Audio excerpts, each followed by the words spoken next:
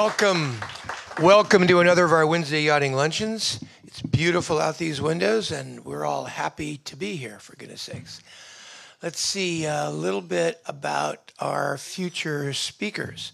Uh, at the end of the year, we'll have the traditional father son Christmas luncheon with shanty singers, the Sots, the San Francisco Boys Chorus, um, uh, characters of you and your kids, and the knot tying contest. So that's always a fun, great event. Uh, Gary Jobson will be coming in December, December 12th, to talk all about what's happening in the world of sailing.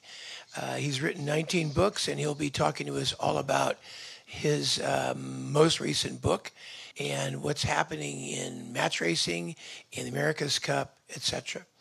Uh, in November, the end of November, Mikhail Vinikoff will be here to talk all about um, Ranger Road, a program that he created, a 501c3, which is a, a, mechanism for active duty sailors who were wounded and disabled in action to transition to the private sector. And it's quite an adventurous um, path that he puts them on where they jump out of planes, they surf, they do all kinds of things that uh, bring back that feeling of camaraderie that they felt when they were uh, at war. Um, November 21st, Lee Bruno will be here to talk all about misfits, merchants, and mayhem tales from the San Francisco waterfront. Waterfront, it's a great history of San Francisco waterfront told by a great storyteller. And next week, here, Bob Heller, former governor of the Federal Reserve Board, will be here to talk all about tariff, trades, and Trump. We'll get to hear what uh, we have to be concerned about or happy about with regard to our current trade policy internationally. No one I could find knows more on the subject than Bob Heller. He's made an incredibly informative presentation, which I've been looking at for a couple weeks, and you're going to enjoy it quite a bit a little bit about our speakers today.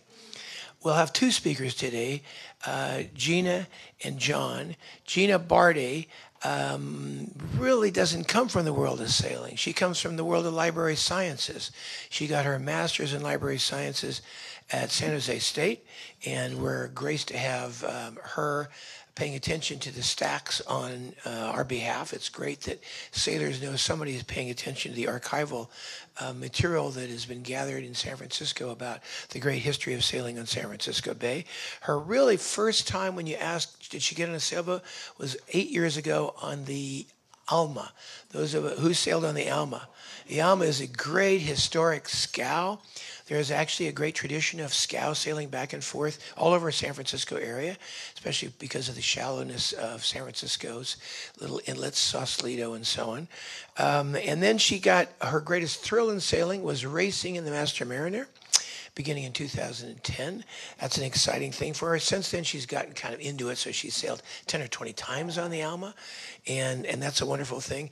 And what she likes about it the most, well, some of us call the zen of sailing, is that feeling of isolation when you're out on the water and you like listen for a second to just how you're getting through, how the boat's being moved, not by the engine, but by the sails. So uh, I think she's hooked. What do you think? I think she's hooked. Um, her co speaker has an incredible name, John Muir.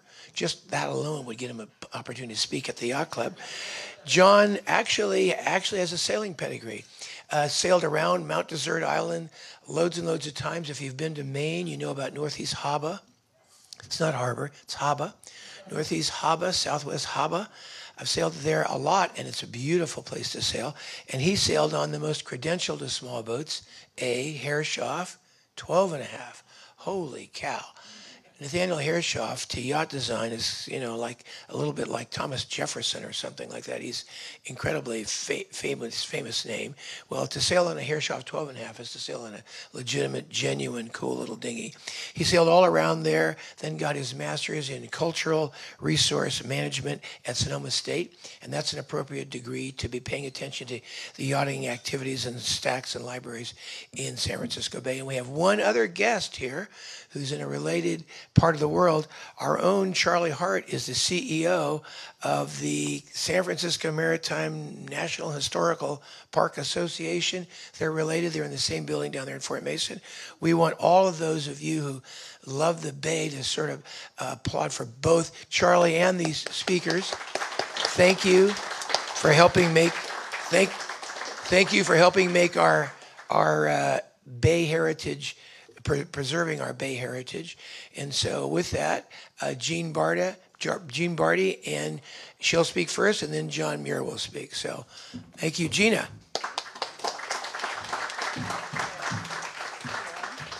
Oh, goodness, all set up for me here. Hi, hi, everybody. Welcome. My name is Gina Bardi. I'm the reference librarian at San Francisco Maritime National Historical Park. Uh, can I get a show of hands of how many people have been to our park before?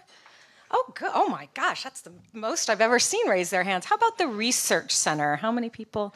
Yeah. Oh my gosh, this is amazing. Well, I don't even need to give this talk then. You know all about us. So. Um, uh, that's great. Uh, I like to say our park is kind of spread out, and we have the ships down at Hyde Street Pier. I like to say that's the the heart of the park, but where I work in the research center, that's the brains of the park. So. Um, uh, and uh, I'm here to tell you about some of the collections that we have, our archival library collections. Um, just to give you an idea, some of you, even if you've been to the Research Center, you might not know the depth of collections that we have there that are available for you guys to come in and research anytime. So that's kind of my job here today.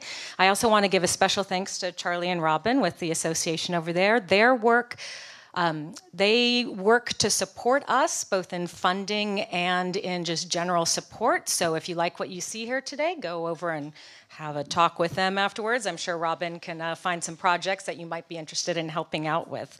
So um, I want to talk about my.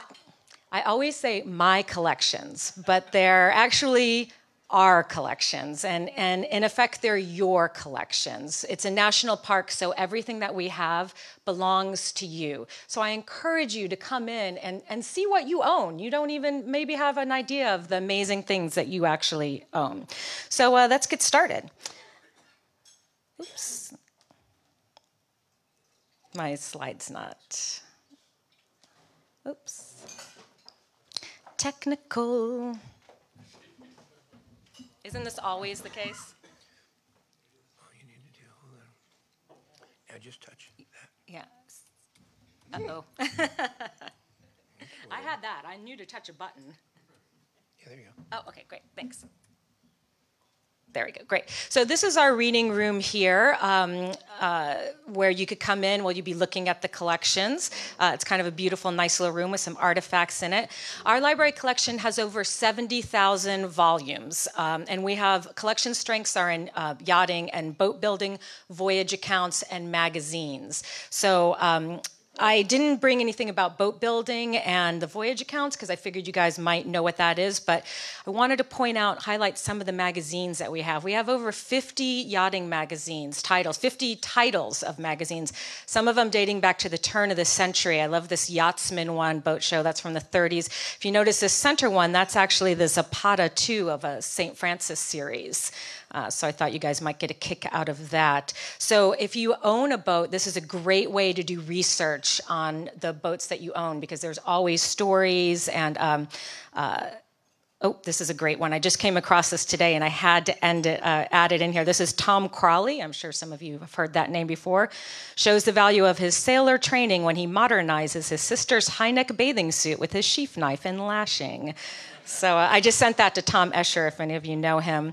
Um, this is another picture from the Yachtsman magazine, which I love. If you see here, this is uh, two men and, and a woman here, and I don't know if you notice here, but we can look and see her shoes that she's wearing. And I, what's what's the old quote? Uh, Ginger Rogers did everything Fred Astaire did backwards and in heels. So uh, let's not forget our yachtswomen who are out there in their heels uh, working on these collections.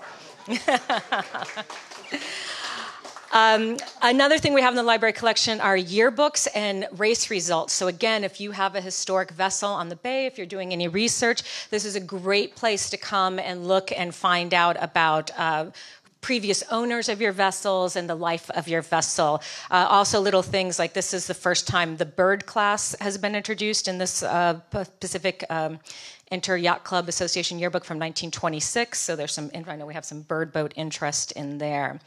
Uh, we also have an archival collection. So our archival collection is huge. We have over 1,700 archival uh, collections. And the difference between a library collection and an archival library is usually material that's published, mass produced. Uh, archival collections are unique and one of a kind. So in regards to yachting, what we have, uh, I think our strengths are logbooks, so logbooks of famous yachts that are on the bay and maybe not so famous yachts. Uh, we also have lots of yacht club ephemera. So uh, definitely, if you're looking to um, do serious research or maybe just get a new Christmas card or decorate your house a little bit, uh, we have things like uh, this is the collection from the San Francisco Yacht Club records, date range 1880 to 1958. So we have yearbooks, scrapbooks, race charts, specifications for vessels, membership rosters. So um, all kinds of stuff, and I just threw a couple pictures up there so you could see. Um, here's some stuff we have on St. Francis Club. This is actually in the Yacht Racing Association records, and I just had to. I don't know if I saw on your board out there. You still go to Tinsley Island, um, still. I don't know if you know. Uh, do you still have the Stag cruise to Tinsley Island?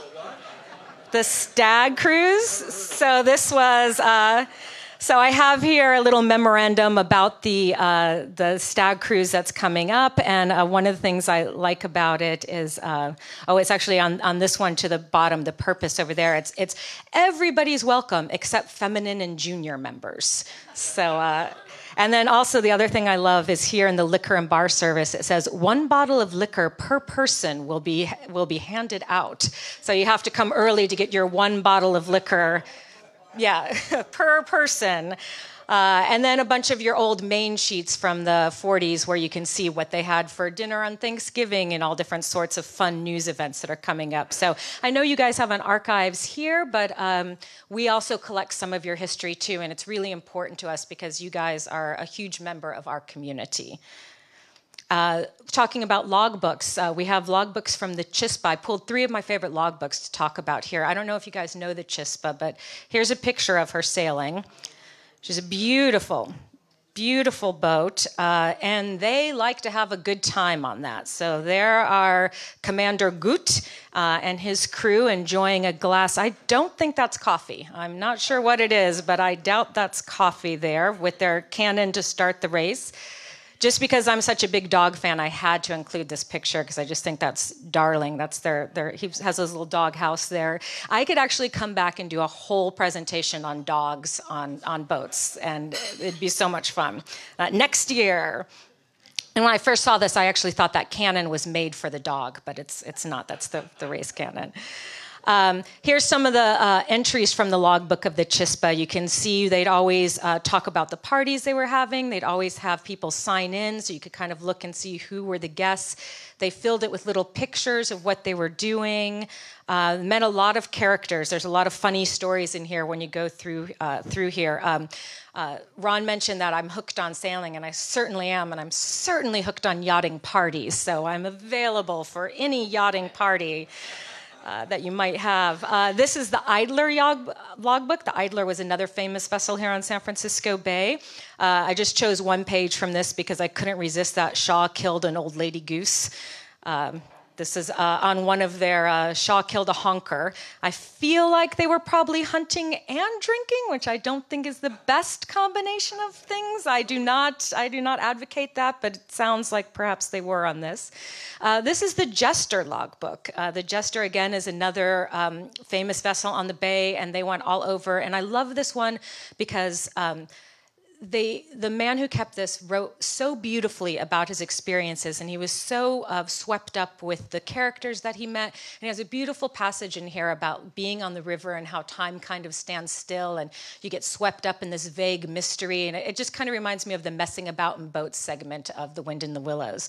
And if you see right here, this man uh, with the with the interesting hat, um, if I can read it, it's I think Frank can't read his last name from this, but um, he's a clam man in Monterey, and he ended up watching their boat from one day, and he was actually good friends with um, Robert Louis Stevenson and sailed on the Casco with him. So here's a picture of Robert Louis Stevenson and his party aboard the Casco. Um, I didn't see that man in that picture, but uh, let's not forget San Francisco, San Francisco has some great yachtsmen and women, uh, including um, Robert Louis Stevenson and Jack London, who I'll talk about just in a little bit too. Uh, so this is the Idler logbook. So besides his beautiful stories that he told, he also took lots of samples of wildflowers along the way. So it's a, a pressed logbook. So um, I don't know if any of you, I know you probably keep logbooks of your journey, but if you uh, do narrative logs, uh, it's such a wonderful gift to have to, to leave to other generations so they can share those journeys with you. I really, really highly recommend doing something like this. We also have uh, logbooks from the Wanderbird. I was here uh, a year or two ago when uh, you were war- honoring Warwick. Um, uh, and so this is the, the logbook from that voyage. And what I love about this is he has such a relationship with the weather. So you go through this logbook, and, and he'll say things like hail, sleet, hell, or uh, I'm looking dirty at the present squalls, or finally, nice wind uh, favoring us for once. And then he has this beautiful one up here boy, what a wonderful day to be out uh, thrilling, uh, what a wonderful day and a thrill to be sailing. You know, so just these nice little moments that he captures within his logbooks. My probably favorite part of the collection, though, is our photograph collection. We actually have about 500,000 photographs or more. So uh, we have got you covered if you are looking for a picture of a ship. I only ask one thing if you call me, please don't say, Do you have a picture of a boat? Because, as I said, we have about 500,000 pictures, so got to narrow it down a little bit. Three of our largest yachting, uh, yachting collection photograph collections are the Walter A. Scott Photograph Collection, which is about 2,500 unique photographs of yachting on San Francisco Bay from the 1870s to 1939 the Jack Ehrhorn collection of Stone Boatyard. That's about 900 photographs of yachts under construction and underway in the Bay Area around the 20s and 70s. And the Myron, Small, uh, Myron Spalding and Spalding Boatworks Yachting in San Francisco Bay. 1860 to 2010, more or less, over 2,000 photographs, uh, either taken by Myron or um, collected by him. So, again, if you have a boat that's on the bay that's historic, um, you really need to come see me because we might have pictures of it you've never seen before. Uh, and if you have pictures of it, we would love to see them. That's how we grow our collections. That's how we build this community. Is is realizing that we're all connected here together. Um, this is a great uh, picture. We also have some smaller collections. We have a lot of scrapbooks, which are a lot of fun. Again, a lot of yachting parties. And I love this one too because you know how it is when you go on your yachting party and you put your hat on and your bustle and your corset and your 12 layers of clothes. I don't understand how these people are sailing with all of those hats on. It just doesn't make sense to me how they're, how they're doing that. And I also don't know how they use the head, so that's a whole other question. Uh, the Walter Scott photograph. So it's not just sailing. We also have some beautiful steam-powered vessels. Uh, this is the Mogul, which I just think is beautiful lines on this. It's just a gorgeous gorgeous little boat. Uh, this is the My Girl, uh, which is a yacht that I think Paul Reck is actually working on a model of this soon. I'm not sure perhaps. Yeah he's going to be working. This is uh, in the walter scott collection. The walter scott collection is beautiful because you could feel that wind. Like you could feel that, that that sail coming up. Here's another one of the hummingbird 22 I love this one. This is yacht racing off of Mission Rock in 1876. So you see all the, the yachts that are there, but also look how many square riggers uh, and uh, different vessels are in the background. So if you think it's crowded out there now, think if you're dealing with these giant square riggers coming in from around the Horn and uh, dealing, negotiating around them. Uh, this is just a nice little mood shot of with the fog there and everything. Oh, sorry. Isn't that gorgeous? I, our photograph collection is unparalleled. I could really just talk, I could do a whole talk on, on that. Uh, I threw in a couple St. Francis photos for you. I don't know if you've seen these. These are building the seawall here. This is from about 1933. Here's another one, clubhouse uh, under construction. This is uh, the Marina seawall here. This is dated 1933. Yeah. This is the Altair, which is a, a, San Francisco Yacht Club yacht over here. I believe this one's in the 30s too. The uh, bay still looks the same. This one is the Scaramouche with uh, Tompkins was your Commodore at this time, uh, 1934. And I just want to point out there's two women on the crew there in the in the back there. I always like to point that out. Uh, and this is Myron Spalding. I talked about him earlier. This is uh, the Suomi. Was that how you'd say that? Suomi? Uh, docked at San Francisco uh, St. Francis Yacht Club after their return from the 1947 Trans Pacific race, where they finished first in her class. So, yeah, Myron Spalding's the one in the middle there. And this is the Suomi on launching day. And I just love this photograph because you just see the lines of her so beautifully. That, that keel is mm, to die for. Um, I talk a little bit. I could also come back and do a whole talk on yachting fashions. Uh, I just again love the idea of like going to take your your boat out and you put on your high starch collar and your tie and your bowler because you wouldn't be caught dead without a tie a tie on. Or perhaps you're a little more flashy and you, you go with something like this with the, the polka dot. Or if you're a woman, you put on your tam o' shanter and your big skirt.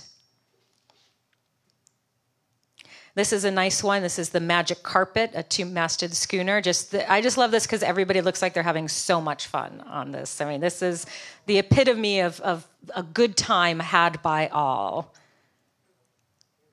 And I love this because uh, I just love these sweaters with the contenders. I, I, really think we should bring back a yachting uniform when you guys race and sail, and this kind of like Batman villain style sweatshirt there. uh, this is the Invader. Uh, again, notice the woman. This is a crew portrait. There's a woman on the crew in her skirt and heels again. So Now, this isn't you guys. This is the Corinthian Yacht Club, but I one of my favorite pictures in the collection here. This is their end of season run, and every face in this picture could tell a million stories. They're uh, they uh, looks like they've been celebrating a little bit here, and uh, looks like loads of pancakes, perhaps that they're eating. Um, Another large part of our collection are plans collections. Uh, our plans collections are huge, and our plans um, archivist Sarah Diamond is actually uh, here with us right now. So, uh, if you have any questions afterwards about plans, please talk to her. We probably have over right there. Probably have yay, Sarah. Uh, we have probably close to what did you say? hundred more than hundred thousand. 150,000 plans. So if you have a, a, vessel that was built here or modified at any time, we might possibly have a plan of it. Uh, we have the Jack Ehrhorn collection of stone boatyard naval drawings from 1912 to 1975, the George Wayland naval architecture drawings from 1921 to 1947, about 700 plans uh, and the Myron Spalding and Spalding boat work records. So not only do we have about over 2,000 drawings, we also have all their business records and project files. So again, if any modifications were done, we probably have the work documenting that. That could be really helpful for you. Uh, this is a Spalding plan showing modifications to a Sparkman design. And some of these plans to me are just works of art. They just stand on their own as something beautiful to have. Um, I try not to be crass and talk about commerce at all, but uh, Christmas is coming, holiday season, and plans and photographs make lovely gifts for people.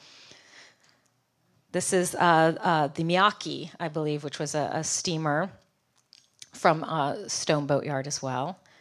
Uh, this is uh, drawings of the My Girl, which is built as the Water Witch, Witch by George Wayland. So you see the, in the corner up here, um, we get plans in all kinds of conditions. Some of them are really falling apart, need a lot of conservation work. Sarah does all that conservation work. We try to do everything in house. Um, everything that comes into our collection, when we accept it, it's in our collection for all time, for good.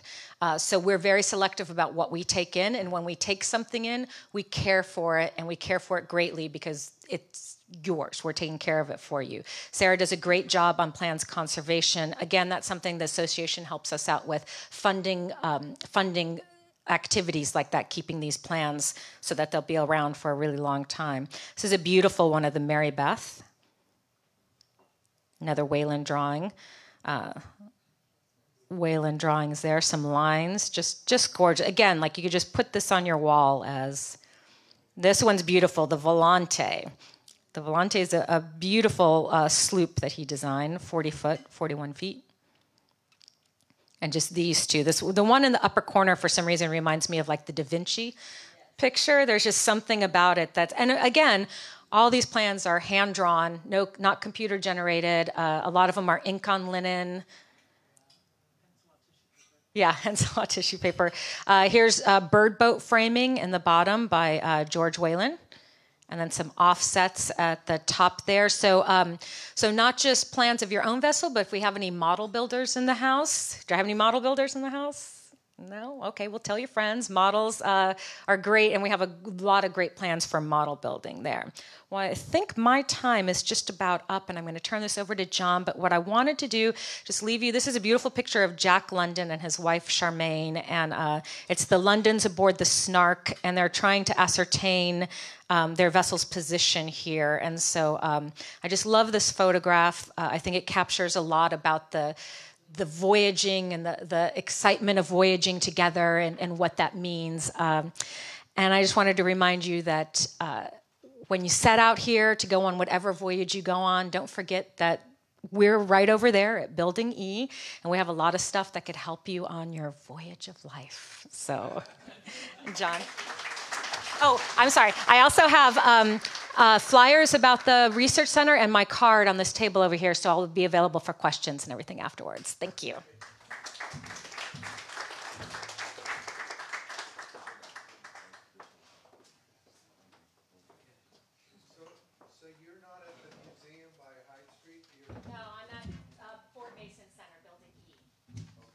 I'm at the museum at Hyde Street, though.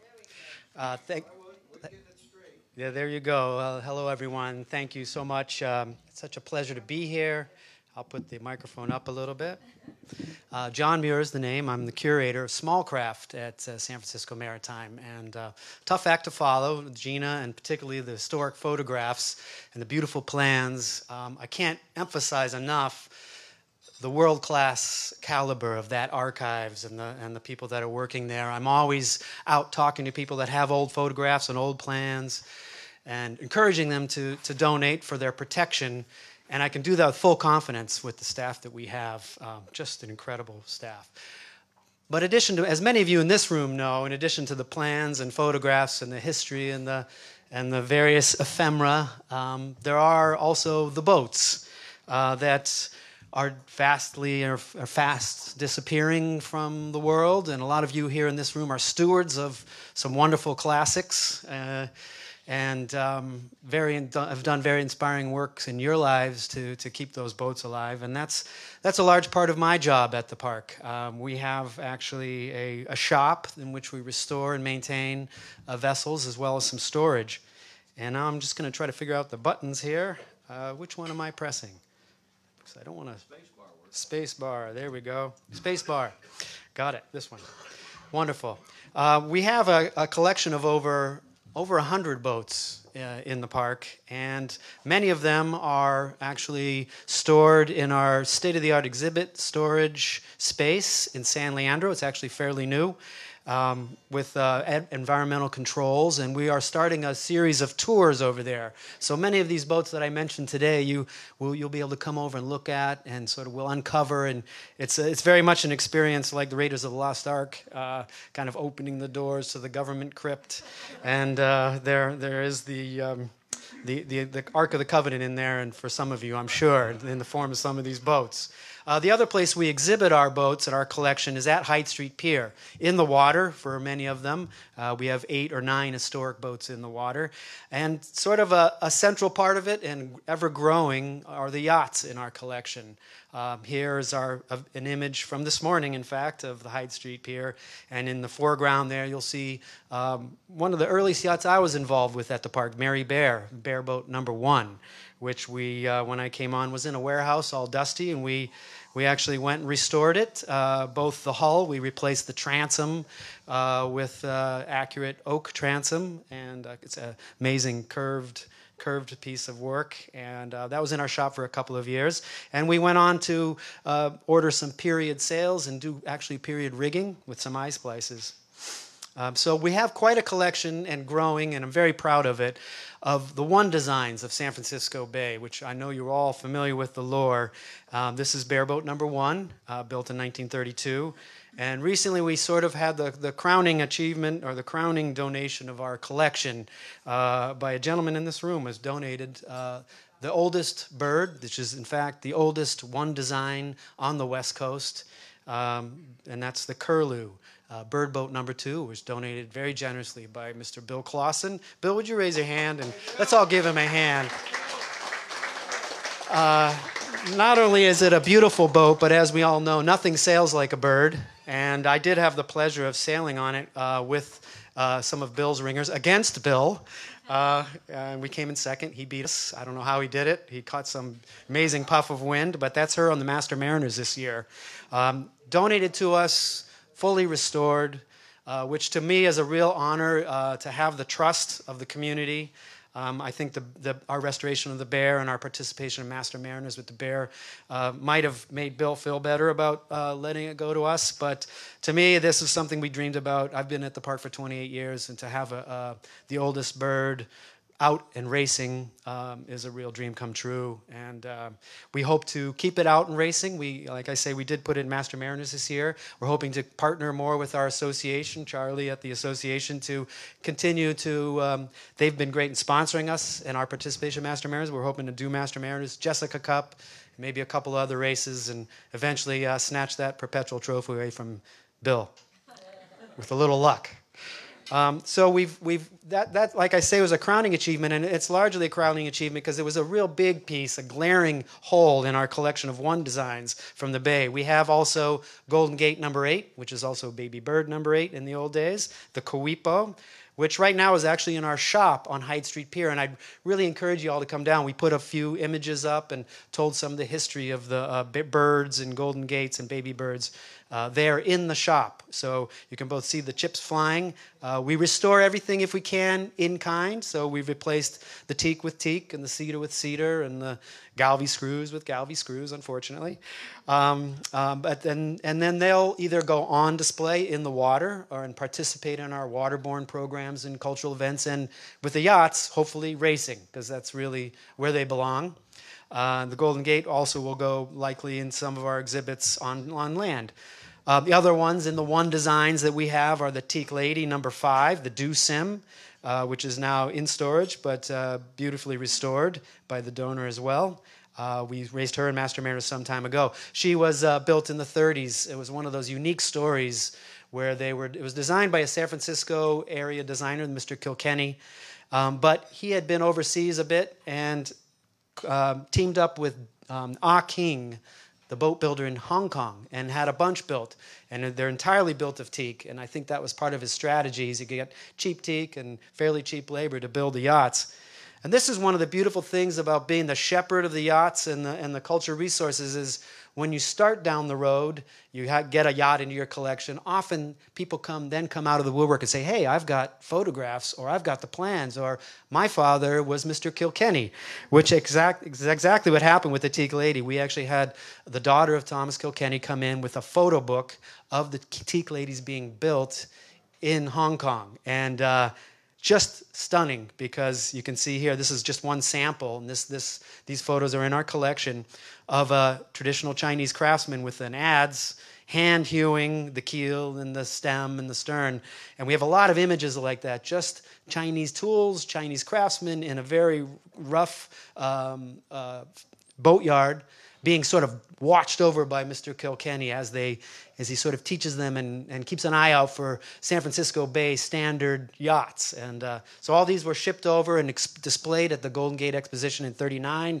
And the, the, the class took off such as it is. It never became a big class, but there are still a couple out there.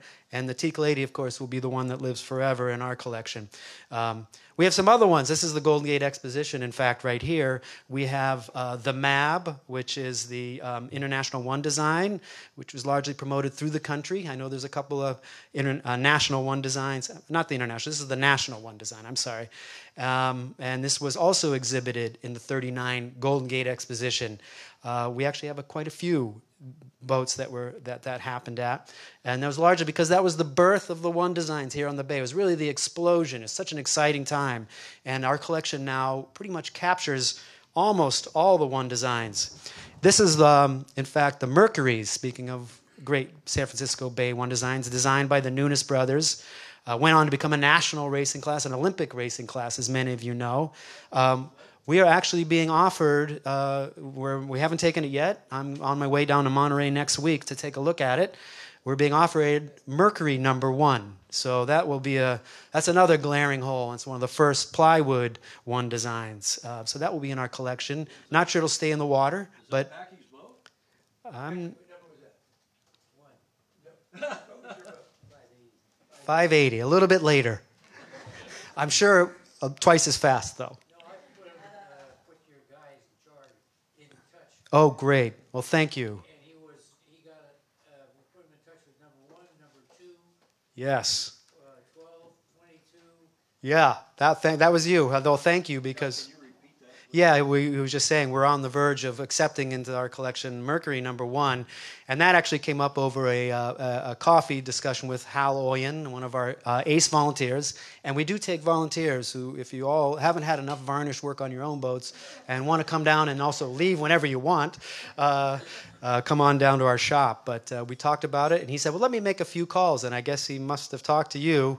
So uh, we got offered number one, number two, number 22. We quite a few. It's quite a response, which again is just very exciting for us. So uh, uh, almost to the point where we are. Oops, that, that jumped ahead a little bit, but where we uh, have a, quite a representation of our one designs.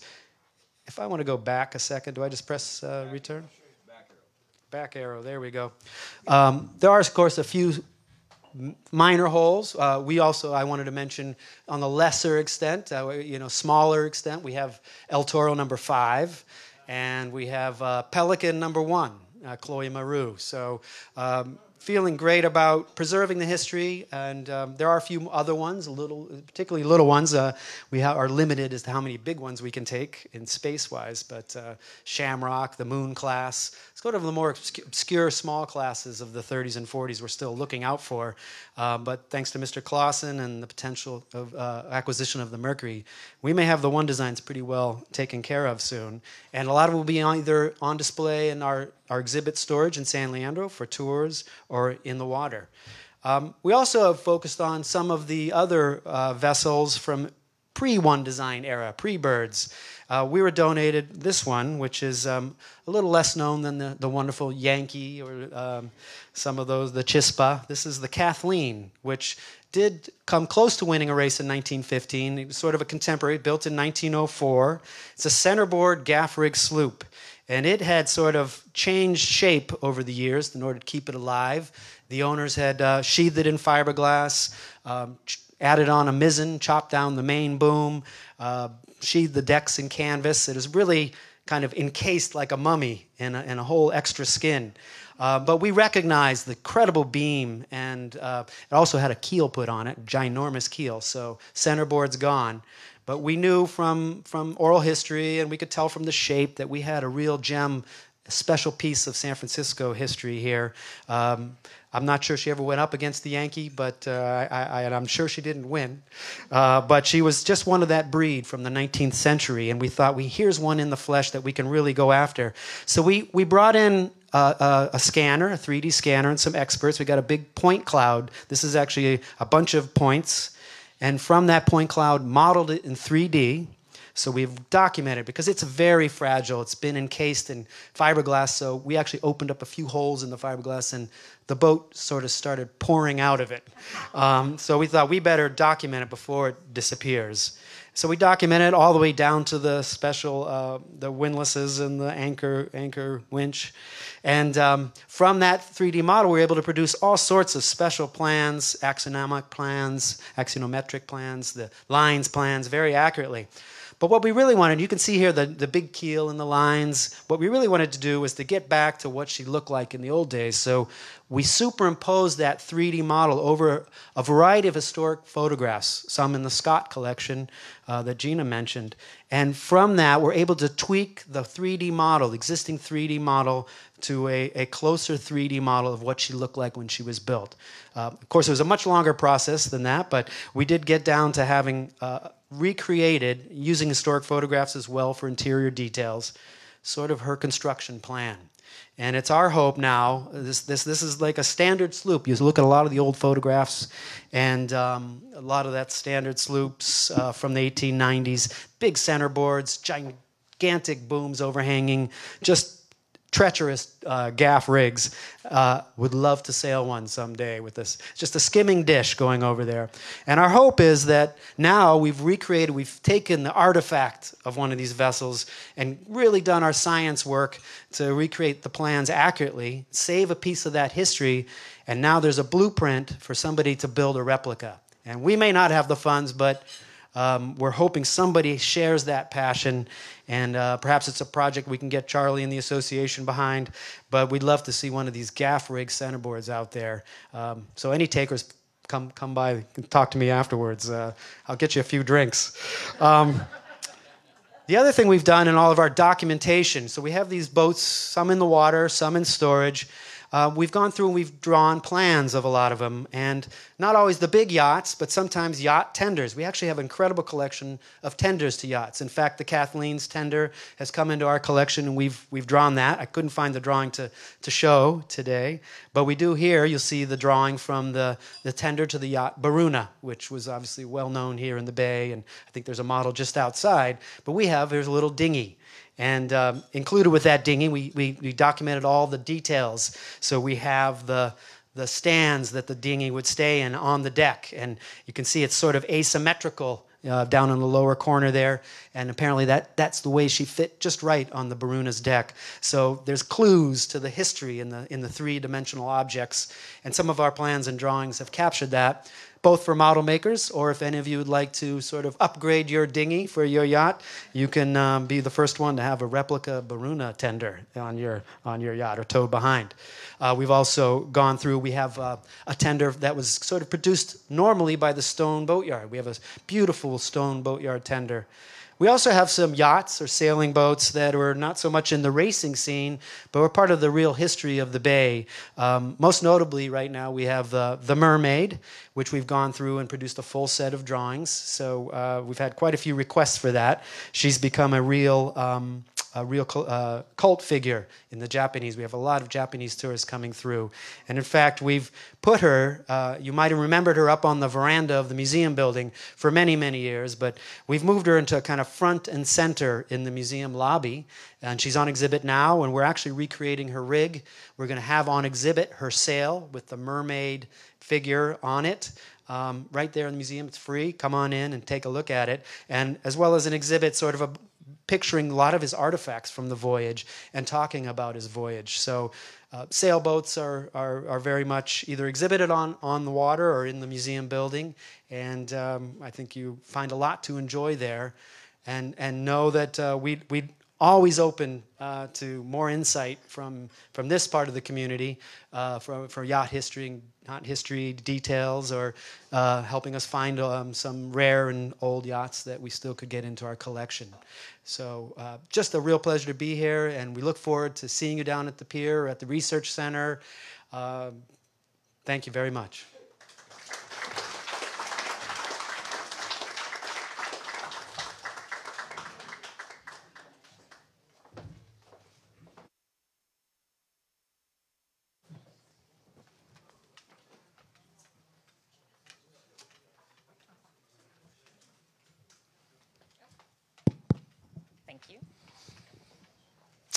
Welcome again to the Wednesday Yachting Luncheon, live from the St. Francis Yacht Club. We have as our guests today Gina Bardi and John Muir, um, yachting historians and um, the keepers of yachting history in San Francisco Bay at the um, Maritime Association Public Library. I probably butchered the name. Fix that name. San Francisco Maritime National Historical Park, and it is a national park. Wonderful. So, um, how do you guys get funding, and how much? What's the annual funding for your for your program? First Well- off, thanks a lot. It's great to have you here, and it's great to know that um, you know the yachts of San Francisco Bay and the yachting history of San Francisco Bay is in such uh, thoughtful, caring hands. Thank you, thank you. Yeah, so to answer your question, we are a national park, so we do get uh, cyclic government funding, uh, ever diminishing right now, it seems. But uh, there is some st- very stable funding, which is, is a great comfort uh, when you have such precious resources. You don't want them to have to be sold, uh, as many private museums might do. These are very much in the public trust. Um, we also get a lot of funding through our association uh, with Charlie and the San Francisco Maritime National Park Association. And in fact, uh, they've done a lot of very creative fundraising, and they allow us to uh, kind of go outside the box, particularly with boats in the water or special preservation projects. They, they, they provide an opportunity for the community to, to jump in and support, and they've been really key to a lot of our more fun projects. Did I hear how much annual budget is? Ah, the in fact we just had a budget lecture. Uh, I believe the, the the whole time, but. uh, the base funding I think for the park is about six million a year. That covers salaries. There's about 70 employees. 70. Uh, that also helps to cover some of our. We get some extra project funding, which changes year to year, which allows us to do the you know the small projects like hauling out the Balclutha. And uh, and or the Thayer or the Eureka. So um, we have a we have a we're a very oddball organization for the national parks. We have incredibly uh, rich cultural resources, uh, very expensive cultural resources in the water, or and also uh, just a lot of artifacts and archives. So a very sensitive cultural park. Give us a sense of the size. What's the square footage, uh, footprint of uh, the library and spaces on Fort Mason, and then separately over in your storage facility in San Leandro? Yeah. Well, the park is really spread out. So we have uh, Hyde Street Pier with our historic vessels, and um, uh, quick update: the Balclutha I think is coming back in December, right? I think that we're here, so the Balclutha should be back then. Uh, then we have our visitor center, which is across the street, uh, which is about 5,000 square feet, uh, and that's free. And if you haven't been there, there's a great exhibit on San Francisco waterfront history that's just gorgeous. Uh, then we have our museum building, which is that beautiful building at Aquatic Park. The Art Deco building. Yes, the Art Deco building. Uh, and then we have the Research Center, which is over at Fort Mason Center. So the park is really kind of spread out along the way. I don't know if that, I don't know the exact square footage, but we are the largest collection in the National Park Service, which means we're the largest collection. Um, in the Department of Interior. So um, Yosemite has more trees, but we have more things made from those trees. So So we get the benefit by looking at the cool pieces you've got assembled. But give us a day in the life of, of a librarian or an archivist.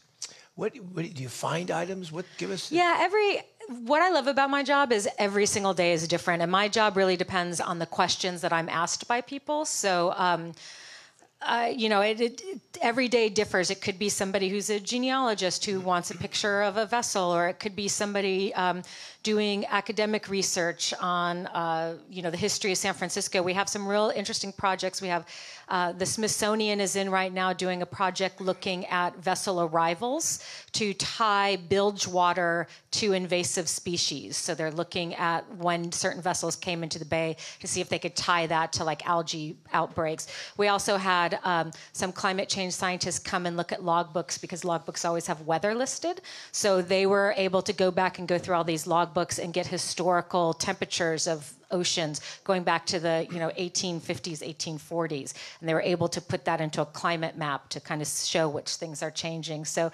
literally every day is different just depending on what people ask me and um, that's what I love about it, and I love interacting with the community. I love when somebody has a personal connection to our to our works. I think John, if you want to talk about the Eva B, like the scrapbook we got, like how excited we were. Sure, like I, I think I mentioned with the teak lady, there, there you get an artifact, and a lot of people in this. That's beautiful about having such a, a local focus in our collections is that it ties to the people that are local, and we get uh, all sorts of things that come out of the woodwork once we take a boat on or restore a boat. And um, we, we recently restored a, a power yacht, which I was going to show an image of, built by Pascanucci over in Sausalito in the 30s. And again, a family came forward, and this one was very unusual. We had the boat donated to us. It was under a different name, the Juanita. It's a double end. It almost looks like a Monterey, but with a beautiful cabin on it. And a gentleman was sailing by and saw it at the dock and said, That looks like the boat we had when I was a kid. And he came in all excited. It was a different name. And turned out it was his boat as a kid. They lost track of it for 50 years. And they came in with photographs and artifacts and of the de- launch day and the construction and Pascanucci and the grandfather. So that connection to the families um, and to the past is a real that's rewarding for me. And all the, the new surprises we'll get boats and we'll think this looks old it's got something. And then sure enough years later the story will fill in. And that's that's a, that's very rewarding now I'm going to keep asking questions, and, and if I see a question for the audience, we're going to want to take one. And it's completely appropriate that in a day when we have librarians and archivists from San Francisco Bay yachting environment, that we would have an archive himself ask a question. Mr. Dewey Hines, sir. Yes, Dewey, you have a question, sir. Well, it's not so much a question as a little sidelight story, but uh, I've been in this club since 1954, and the boats like the Volante, and I worked for Myron Spaulding, and all this stuff is close to my memory. But one of the funniest things, that stories that I thought was cute, a guy named Charlie O'Brien owned the Volante, and uh, I came down one day and said, "Mr. Volante, can I go?" I mean, Mr. Uh, Brian. Brian, can I go sailing with you guys today? And he says, well, I don't know. And he knew my parents. And he says, you go home and get a note. So I ran up three blocks, got the note, came back. Here you are, Mr. O'Brien. And he says, it's Dr. O'Brien. So he hit me right on the top. And he says, okay, you can come, but you have to polish the brass first. Oh, okay, that's the price. So anyway, uh, for several, uh, you know, years I, I, sailed with them, and and uh, one event I thought was fabulous. They were they're all out, the good old boys out sailing, and they said, "Now you go sit up on the bow." And I go, well, "Why are you sending me up on the bow?" So I sat there and didn't see many. One guy steering, and everybody else was down below. So I snuck up and looked down the skylight and these old boys were looking at black and white nudie photos. so that's the way it was in those days. was, so the Volante has a special, and then yeah. I, went, on. To, I went on to uh, come back in the summer in college, and they'd say, "See all those varnished bass? Varnish them." So, so anyway. Well, see, that's the beautiful thing, is that, and especially here, there's a real those kinds of stories are the stories we, we eat up and look to preserve. And uh, I know this gentleman has a few yachting stories too. But that's, that's the, the great, rich reward. And here's Gino, just wants to make a quick question. We'll turn it to John on, on that when uh, when I was asking about the stag party to Tinsley, um, stag the, cruise, stag cruise, the um, the cover of that uh, volume was too risque to share here today uh, to go out to a national audience. Uh, so if anybody would like to see it, you have to make an appointment to see it, and I will need to see an ID to show that you are over 18. So. Staff Commodore John McNeil. Gina, I'll be right there. With a note from your mother, John? Yeah. uh, no need. Gina's an old friend. We've, we've, actually shared some information back and forth, and visiting the visiting her archives, and they are yours, uh, is really a great experience. I'd recommend it to anybody. Do you um, show your etchings often, John? no, because they're uh, uh, what do they call it? Inkjet, and they bleed. but you know, do do you do give programs in the evening at the museum sometimes, mm-hmm. yeah. as I'm i I'm familiar. Yes. And Dewey would make a great one. Oh yeah, you know. But how do people become aware of that? Because I'm pretty sure our members don't get a notice on those or anything. Or, or, how do you get to be part of that? And it may be as part of Charlie's business too. I don't know. Yeah, yeah. Um, Yeah, uh, we do do lectures. We do nighttime lectures and maritime uh, lunch lectures, and we have a great lecture series.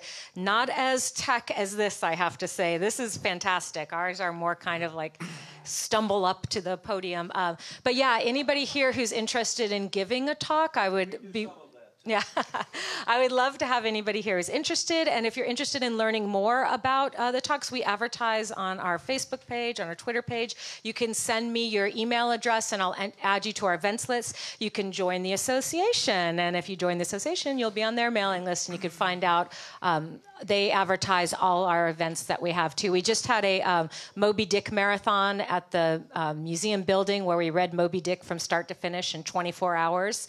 So you could spend the night in the museum reading Moby Dick. I was there for the whole time and it's quite crazy afterwards. But yeah, so we do a lot of fun stuff. So yeah, please uh, sign up for our email list or join the association. And if you're interested in giving a talk, love to have you.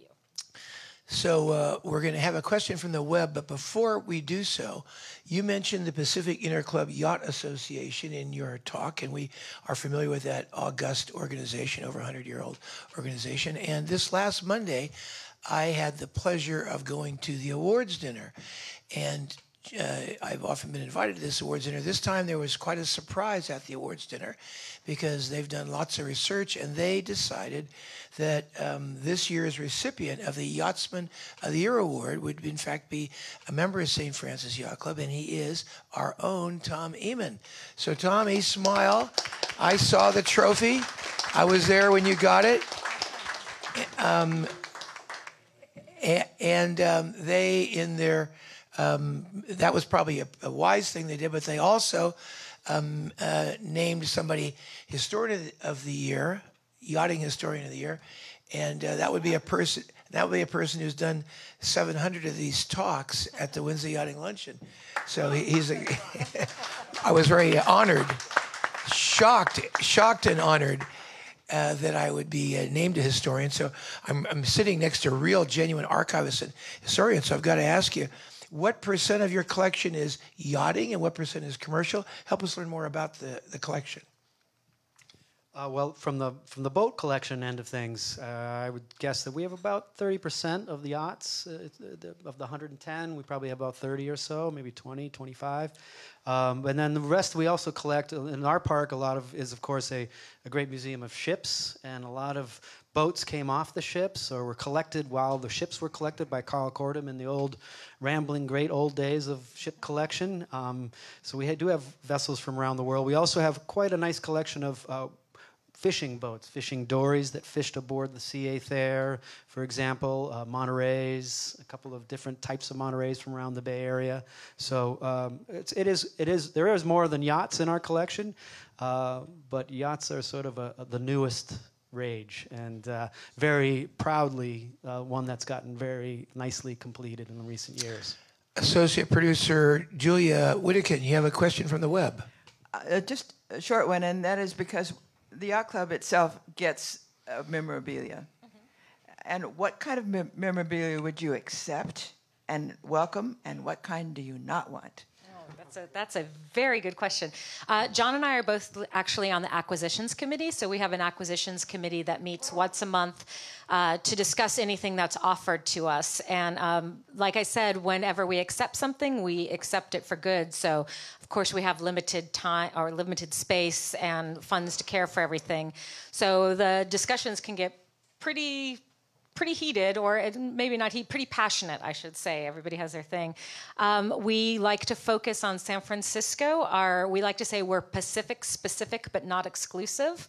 It's kind of our collecting motto. Um, and it really is on a case by case basis. It's, it's the more um, as we say in the archives world, provenance uh, an item has, which means the more it could be traced back to this was begat by this person, begat by this, uh, the more connection that it has to history, the more of a story it tells. We also look at things uh, do we already have 100 of those in the collection? Does this fill a gap in our collection? Do you want? Yeah, and I, I, would just say that um, yachts and yachting, we've been with the boats themselves really campaigning for yachting uh, history and yachting culture.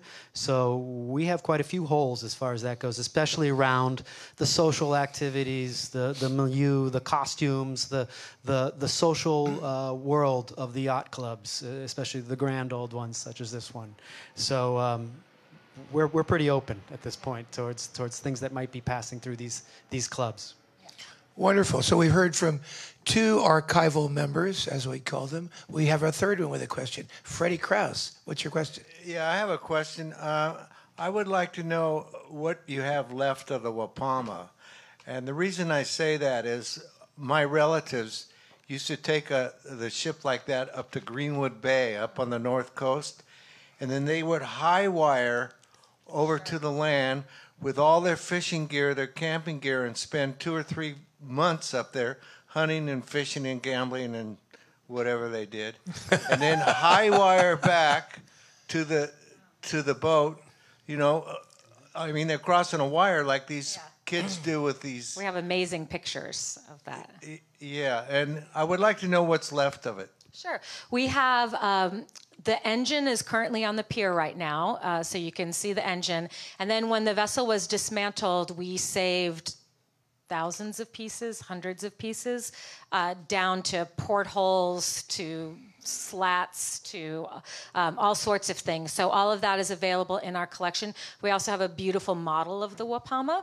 We have uh, hundreds of pictures uh, documenting both her early career and then her uh, later later life. Um, and then speaking of those highline pictures, we have a beautiful collection of lumber schooner photographs, uh, and we have great pictures of those highlines you're talking about. And it's amazing to me people did that because it's terrifying. But um, yeah, so we actually have quite a lot. Yeah, that was definitely a difficult uh, challenge for the park to, to let her go, and uh, painful for a lot of us who've been involved with her and caring about her and for her for a long time. Um, so, but I think uh, they did a good job of documenting. They did 3D scans and photographs. They've got beautiful plans and drawings. And really, that warehouse we mentioned in San Leandro, there's a big chunk of it with uh, big chunks or pieces and artifacts from the Wapama. So um, I think I, I, feel fairly confident and good that we did what we could in the light of that uh, demise. Um, there's also great oral histories. That's something I discovered recently looking for, for boat action, small boat action, in fact. Um, incredible uh, work by Karl Kortum in the early days and some of those other fellows, Harry Dring, interviewing the old uh, lumber schooner captains. And um, I got absolutely riveted at Gina's research center with the, the, the hands on first first accounts of the skippers from the 20s and 30s. Just incredible industry and incredible men that, that, that ran those ships. So, uh, thank you for joining the Wednesday Yachting Luncheon live from St. Francis Yacht Club. Our guests today, Gina Bardi and John Muir of the San Francisco Maritime National Historical Park. We love the good work that you're doing. Thank you so much. And with that, the luncheon is adjourned.